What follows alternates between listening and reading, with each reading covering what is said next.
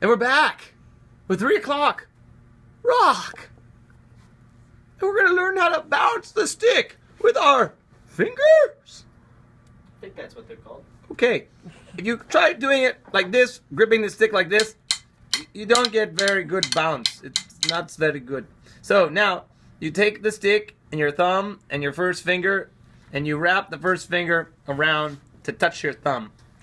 And then that's what you're gonna do to throw the stick. You're just gonna do these finger motions. I'm not the. Down and up. Down and up. Now, do you see how my other fingers, they're straight down? Look, take a close up. They're not even touching the stick. Steady, steady. Now, once you're good with this, Aiden, then you can bounce it with this. Look. Use the, these. Go close up over here. So to bounce it, you can do it like this, you can do it like this, or you can do it like pretty fast like that. Do it for both hands. Cool.